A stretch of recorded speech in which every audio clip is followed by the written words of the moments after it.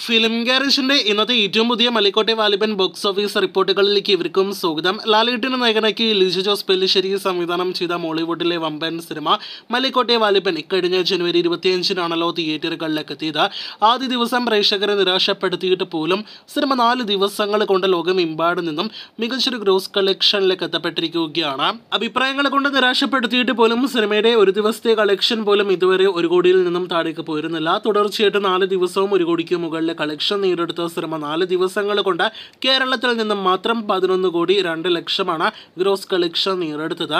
വിദേശ രാജ്യങ്ങളിലേക്ക് വരികയാണെങ്കിൽ ജർമ്മനിയിൽ സിനിമയ്ക്ക് ഒരു വമ്പൻ റെക്കോർഡ് നേടിയെടുക്കാൻ കഴിഞ്ഞിരിക്കുകയാണ്. ഒരു മലയാളം സിനിമയുടെ റെക്കോർഡ് ഓപ്പണിംഗ് നേടിയെടുക്കുന്ന സിനിമ കൂടിയിട്ട് ജർമ്മനിയിൽ മലൈക്കോട്ടെ വാലിബൻ മാറിയിരിക്കുകയാണ്.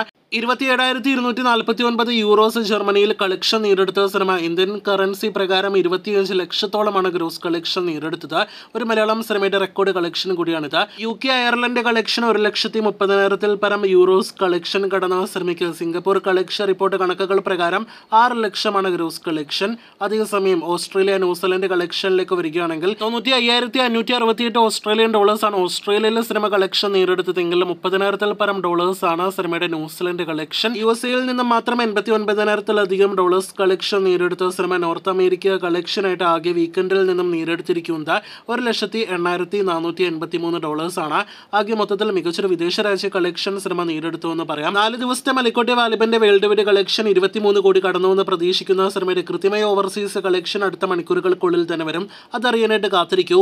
ഇതിനിടയിലെ എം എം എഫിന് ശ്രമയുടെ വേൾഡ് വൈഡ് കളക്ഷൻ നാല് ദിവസത്തെ കളക്ഷൻ മികച്ച കളക്ഷൻ എന്ന് പറയുന്നതിൽ അതൃപ്തി ഉണ്ട് എന്ന് മനസ്സിലാക്കാനായിട്ട് കഴിയുന്നു. ലാലേട്ടന്റെ മലിക്കോട്ടെ വാലിബൻ എന്ന ബിഗ് ബഡ്ജറ്റ് സിനിമയുടെ വീക്കെൻഡ് കളക്ഷൻ മാത്രമേ മികച്ചത് എന്ന് പറഞ്ഞിട്ടുള്ളൂ. അതല്ലാതെ ഓവറോൾ കളക്ഷൻ മികച്ചത് എന്ന് പറഞ്ഞിട്ടില്ല എന്ന് പ്രത്യേകം എം എം എഫിനോട് അറിയിച്ചു കൊള്ളട്ടെ അപ്പോൾ കാത്തിരിക്കൂ. അടുത്ത മലിക്കോട്ടെ വാലിബൻ വാർത്തകൾക്കും വിവരങ്ങൾക്കായിട്ട്